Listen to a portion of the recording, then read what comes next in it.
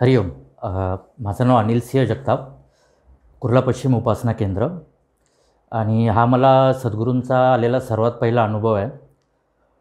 हे हा अनुभव अराऊंड वर्ष दोन हजार दोनच्या आसपासचा आहे.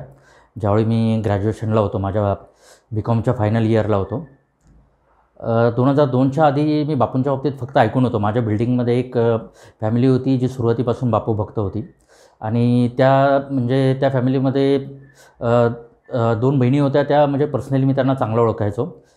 तर त्या मला खूप आधीपासून बापूंच्या बाबतीत सांगायच्या की म्हणजे तू पण येत जा म्हणून आणि आम्ही रेग्युलरली बापूंकडे जातो आणि तशा प्रकारे.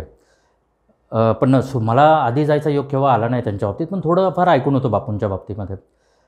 दोन हजार दोनच्या आसपास माझा ग्रॅज्युएशनचं लास्ट इयर होतं फायनल टी वाय बी कॉमचं आणि माझा तुम्ही आधीचा जो शैक्षणिक बॅकग्राऊंड आहे अकॅडमिक बॅकग्राऊंड आहे तो ओव्हरऑल म्हणजे आधीपासूनच ॲव्हरेज गेला होता. म्हणजे केव्हाच मला forty five fifty forty five fifty हाच ॲव्हरेज असायचा. केव्हाच म्हणजे हे त्याच्यापेक्षा जास्त पर्सेंटेज मिळाले नाहीत. कारण स्वतः म्हणजे आणि आमचा स्वतः आणि म्हणजे घरातूनही अशा प्रकारे होतं की म्हणजे अभ्यासासाठी एवढं घरातून जास्त फोर्स किंवा प्रोत्साहन नव्हतं की म्हणजे चांगला स्कोर आला पाहिजे चांगले मार्क्स मिळाले पाहिजेत. तर माझं ओव्हरऑल म्हणजे जे वर्गात ऐकायला मिळतं आहे ते करून हे करून म्हणजे प्रत्येक वेळी परीक्षा देणे पास होणं असंच घडत आला. स्पेसिफिकली असं परीक्षेसाठी वेगळा वेळ देऊन कधी अभ्यास केला असं घडलं नाही. पण तरी बापूंच्या कृपेने मी ग्रॅज्युएशनपर्यंत कधी फेल नव्हता. प्रत्येक वर्षी पास होत आलो. आणि आता ग्रॅज्युएशनच्या वर्षी मी विचार केला की आता चला आता हे आपलं शेवटचं वर्ष आहे. याच्यानंतर आपल्याला काही शिकायला मिळायचा चान्स मिळणार नाही. आता कमीत कमी ह्या वर्षी तरी आपण जरा मन लावून अभ्यास करावा म्हणून.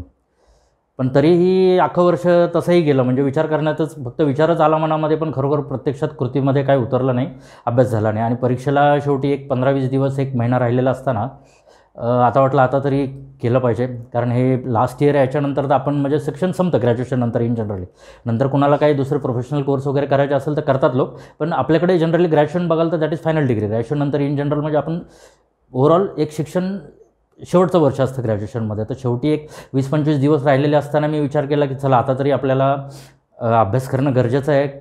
यावर्षी तरी आपण प्रयत्न करू. आत्तापर्यंत कधी आपण असं स्पेसिफिकली अभ्यास करायचा म्हणून केलेला नाही आहे मग शेवटी पंचवीस तीस दिवस मी खरोखर हॉनेस्टली पूर्ण मन लावून वेळ काढून अभ्यास केला.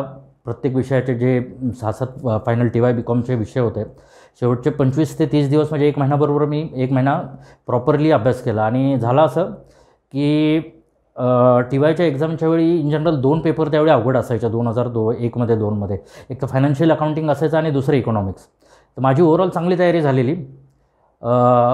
फायनान्शियल अकाउंटिंग मला वाटतं सेकंड का फर्स्टच पेपर होता सेकंड पेपर होता माझ्यामध्ये. सॉरी इकॉनॉमिक्सचा सेकंड पेपर होता. आणि इकॉनॉमिक्सच्या पेपरच्या वेळी झालं असं की मी परीक्षेसाठी गेलो. सकाळी मला वाटतं आहे दुपारची वेळ होती. परीक्षेसाठी गेलो प्रश्नपत्रिका बघितली आणि अभ्यास केला होता. तर बघितली तर बोललो अरे वा क्या बात आहे सगळं येतं आहे व्यवस्थित मस्तपैकी पेपर लिहू शकू चांगला स्कोर होईल. तर त्या कॉन्फिडन्समध्ये मी पेपर लिहित राहिलो लिहित राहिलो वाटलं की वा सगळं आपण अभ्यास केलेलं आहे त्यामधलंच आलेलं आहे. आणि त्या जोशमध्ये मी प्रश्नपत्रिका उत्तरं लिहित राहिलो आणि इकॉनॉमिक्स थोडं बघायला जाल तर म्हणजे त्यामध्ये तर तशा प्रकारे लिहित राहिलो. आणि तीन तासाचा पेपर आणि जवळजवळ सव्वा दोन तास झाल्यावर माझ्या लक्षात आलं की अरे माझा फक्त पस्तीस मार्काचाच प्रश्न प्रश्नपत्रिका कवर झाली आहे म्हणून. मग नंतर आता वाटलं की अरे हा गोंधळ झाला मी थोडा आय मेस्टअप थोडं गुफअप झालं म्हणून. तर मग त्यानंतर बोललो आता चला अर्धा तास पाऊण तास राहिला त्यामध्ये मग बाकीचा पेपर जसं जमेल तसा कवर करू. तर त्यामध्ये पण ॲक्च्युली झालं असं की शेवटी माझ्याकडून ओव्हरऑल पन्नास ते पंचावन्न मार्काचा प्रश्नपत्रिकाच कवर झाली. पंचावन्न मार्काचा पेपर लिहू शकलो मी परीक्षेच्या वेळी. आणि नंतर घरी आलो. आता बोललो आयुष्यात फर्स्ट टाईम अभ्यास केला एवढा सिरियसली आणि त्यावेळी म्हणजे असं थोडं टेन्शन आलं की आता अभ्यास करूनही फुकटमध्ये फेल होणार याच्या आधी कधी अभ्यास न करता कधी फेल झालो नाही. आणि आता अभ्यास करून फुकट टेन्शन आलं. म्हणजे असं वाटलं की उगंच आता एवढं सगळी मेहनत करून आपण प्रश्नपत्रिका प्रॉपरली सॉल्व करू शकलो नाही. त्या टेन्शनमध्ये मी रात्री येऊन झोपून गेलो. आणि दुसऱ्या दिवशी अचानक मला पहाटे तीन साडेतीन वाजता जाग आली. आणि त्यावेळी काय झालेलं की माझ्या बिल्डिंगचा जो कॉमन वरांडा असतो बाहेरचा त्याच्यासमोर समोरच्या साईडला एक आधीपासूनचे एक खूप जुने बापू भक्त राहत होते विधाते म्हणून. आणि त्यांचं दोन माळ्याचं घर होतं. आणि त्यांच्या घरामध्ये बहुतेक त्यांनी आतमध्ये रिनोव्हेशनचं काम वगैरे काढलेलं घरामध्ये भिंतींचं कलरचं वगैरे. तर त्यांनी त्यांचं सर्व घरातलं सामान एका ठिकाणी मध्ये मध्ये जमा करून ठेवलेलं आणि त्याच्यावर बापूंचा फोटो होता. मी वरांडात येऊन उभा राहिलो. आणि मी बाहेर येऊन उभा होतो विचार करत होतो आता काय करायचं? आपण तर अभ्यास केला तरी असा प्रॉब्लेम झाला. आणि आता काय करायचं? फुकट फेल होणार टी व्हीला आणि माझं लक्ष गेलं तर लाइट चालू होती त्याच्यावर बापूंचा फोटो होता. आणि मी जस्ट बोलता बोलता जस्ट बापूंच्या फोटोकडे बघून बोलून गेलो बोललो बापू आता मला तर तुमच्या बाबतीत जास्त काय माहीत नाही आहे मी तुमच्याकडे कधी आलेलोही नाही आहे पण तुमच्या म्हणजे फ्रँकली जे माझ्या मनातून आलं ते मी बोलतो की त्यावेळी असं बोलून गेलो की बापू म्हणजे आता मला बाकीचं माहीत नाही आहे पण मला केव्हा ना केव्हा अशी फिलिंग होत राहते की तुमचं काहीतरी वेगळं आहे. म्हणजे खास करून तुमच्या ज्या भारदस्त मिशा आहेत त्या मिशा मला कायम अट्रॅक्ट करत राहतात. म्हणजे काहीतरी वेगळं आहे. तर त्यांना बोललो बघा जे घडलं ते तुम्हालाही माहिती आहे की मी ह्यावेळी फर्स्ट टाईम आयुष्यामध्ये प्रय प्रयत्न केला. अभ्यास करून चांगला स्कोअर करण्याचा पण ह्यावेळी थोडा प्रॉब्लेम झाला. म्हणजे माझा असा परीक्षेमध्ये अभ्यास करूनही मी प्रश्नपत्रिका अटेम्प्ट करू शकलो नाही. आणि आता बहुतेक यावेळी फेल होईल. तर तुम्हाला जर काय शक्य होण्यासारखं असेल तर प्लीज मला मदत करा म्हणून. आणि त्यानंतर मग मी बोललो ठीक आहे मग आता उठलो तर घरी जाऊन अभ्यास करू. घरी अभ्यास केला टी वाय दिली. त्यानंतर टी वायला ॲक्च्युली मला एक्सपेक्टेड होतं की मी इकॉनॉमिक्समध्ये फेल होईल. पण टी वायला मी चांगल्या स्कोरने पास झालो. I got around sixty three sixty four percentage हे दोन हजार एक दोन हजार दोनमधली गोष्ट आहे. त्यावेळी दो sixty more than sixty was a good score आजकाल सगळ्यांना सत्तर ऐंशी मिळतात पण त्यावेळी फर्स्ट क्लास मिळणं ही पण एक खूप मोठी गोष्ट होती. आणि पण इकॉनॉमिक्समध्ये मला ॲप्रॉक्सिमेटली फोर्टी फोर्टी मार्क्स मिळाले. तर अशा प्रकारे हा मला बापूंचा सर्वात पहिला अनुभव आला होता. त्यावेळी मला म्हणजे वाटलं की म्हणजे ज्यावेळी माझा स्कोअर कार्ड आला त्यानंतर मला ही आतून फिलिंग झाली की हे मी कदाचित फेलच झालो असतो. आणि त्यावेळी आठवलं की मी बापूंना काहीतरी बोललो होतो. आणि त्यामुळे मी इकॉनॉमिक्समध्ये पास झालो. आणि नंतर मग मी ज्या मी तुम्हाला सांगितलेलं की माझ्या बिल्डिंगमध्ये राहणाऱ्या ज्या आधीपासूनच्या श्रद्धावान होत्या दोन श्रद्धावान विरा होत्या कोमल विरा जोशी आणि गौरी विरा जोशी ज्या आधीपासून त्या माझ्याबरोबर बिल्डिंगमध्ये राहायच्या. त्या आता दुसरीकडे शिफ्ट झाल्या. पण त्यावेळी मग त्यांना मी फर्स्ट टाईम बोललो की म्हणजे चला मलाही बापूंकडे यायचं आहे म्हणून तुमच्याबरोबर. तर दोन हजार दोनमध्ये रिझल्ट डिक्लेअर झाल्यानंतर मी फर्स्ट टाईम त्यावेळी हरिगुरुग्रामला बापूंच्या दर्शनासाठी आलो. पण त्यावेळी जस्ट एक म्हणजे सुरुवात होती आणि जस्ट एक यंग एज होतं एकवीस वीस एकवीस. तर फर्स्ट टाईम आलो बापूंचं दर्शन घेतलं हरिगुरुग्रामला. त्यानंतर घरी पुन्हा निघून आलो. पण त्यानंतर परत जाण्याचा योग आला नाही. आणि माझ्याही ते कधी ध्यानात आलं नाही की म्हणजे आपल्याला त्यांनी भले ग- गेलं पाहिजे म्हणून. तर असेच म्हणजे वेळ जात राहिला. त्या ज्या विरा होत्या त्या मला बऱ्याच वेळा बोलायच्या की तू हरिगुरुग्रामला येत जा म्हणून. पण मला त्यावेळी म्हणजे काय असं एवढी फिलिंग नव्हती. त्यामुळे मी काय पुन्हा गेलो नाही.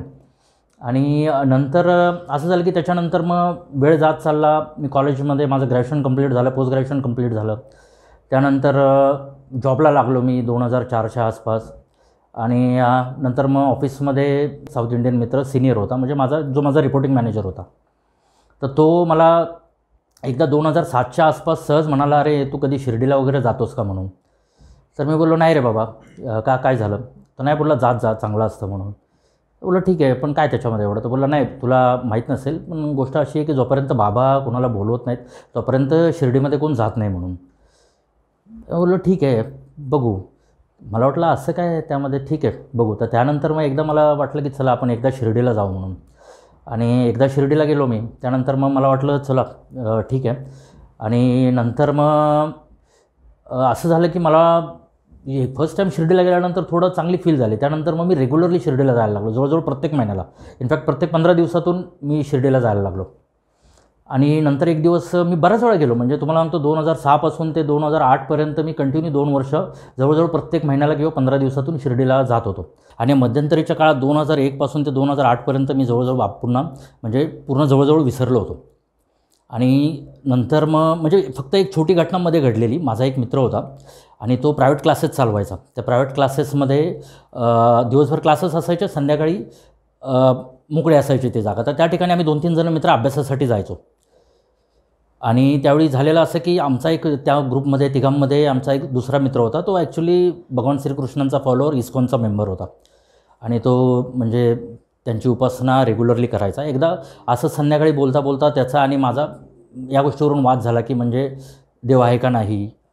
तर तो त्याला मी हे बोललो अरे ठीक आहे मी बोलत नाही की देव अस्तित्वात नाही आहे पण तू हे एवढं यंग एजमध्ये ह्या काय गोष्टी करत बसला आहे म्हणजे हे माळा आणि टिळा दिवसभर आणि एवढा वेळ.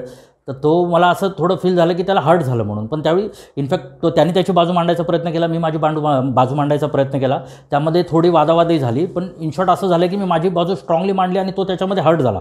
पण त्यावेळी झालं असं की तुम्हाला विश्वास नाही बसणार की त्यावेळी बोलता बोलता आहे ना मला असं म्हणजे नॉर्मली बोलता बोलता असं जाणवलं की बापू माझ्याकडे रागाने बघताय. ज्यावेळी मी त्याला ही गोष्ट पटवून द्यायचा प्रयत्न करतो आहे या गोष्टी तू चुकीच्या आहेत आणि तरुणपणामध्ये करू नको म्हणून.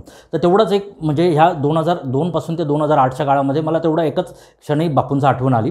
त्यानंतर मी विसरून गेलो. नंतर ह्या दोन हजार नऊमध्ये मला थोडी परत असं वाटलं की आपण एकदा परत बापूंकडे जाऊन यावं. दोन हजार दोनमध्ये एकदा आपल्याला अनुभव आलेला आहे. परत दोन हजार सात आठमध्ये बाबांचा अनुभव आलेला आहे आणि या कोमलवीरा गौरीवीरा ज्या माझ्या बिल्डिंगमध्ये राहतात त्या तर मला रेग्युलरली बोलतच होत्या की यावं म्हणून. तर दोन हजार नऊच्या जुलैच्या आसपास जुलै किंवा सप्टेंबर असेल मी परत एकदा बापूंकडे जाण्यासाठी म्हणजे निघालो यांच्याबरोबर कोमलवीराबरोबर. पावसाळा होता एवढा माझ्या लक्षात आहे. जुलै किंवा सप्टेंबर असेल. आणि त्यावेळी मी फर्स्ट टाईम सेकंड टाईम म्हणजे बापूंकडे आलो. आणि त्यावेळी पावसाळा चालू होता गर्दी होती भरपूर. मी सेकंड फ्लोअरला जिथे टी व्ही लावलेले असतात त्या टी व्हीच्या इथे टी व्हीच्या इथे समोर मी येऊन बापूंचं प्रवचन चालू होतं. ते सेकंड फ्लोअरला येऊन त्यांच्याबरोबर बसलो. आणि बापू त्यावेळी मला वाटते आपले काहीतरी प्रतिष्ठापना चालू होती अरे गुरुक्षेत्रमला तर बापू त्यावेळी मोठ्या आईच्या बाबतीत सांगत होते. आणि बापू बोलता बोलता ॲक्च्युली मध्येच एक वाक्य बोलून गेले की आणि असा हा साई. ज्याच्या घरी गेला असेल आणि तो झोपलेला असेल तो तो केवढा मोठा दुर्दैवी. आणि हे म्हणजे हे असं वाक्य होतं की जे मी जवळजवळ गेले एक दोन वर्ष माझ्या मनामध्ये कुठेतरी फील करून राहिलेलं होतं. तो एक माझ्यासाठी खूप मोठी खून होती की म्हणजे आता जे एवढा वेळ विचार करतो ते फायनली इकडंच आहे म्हणून. आणि मग त्यानंतर मी रेग्युलरली म्हणजे बापूंचं झालो आणि बापूंकडे रेग्युलरली बापू भक्त बनून राहिलो बापूंच्या श्रद्धावर. हरिओम श्रीराम अंबदन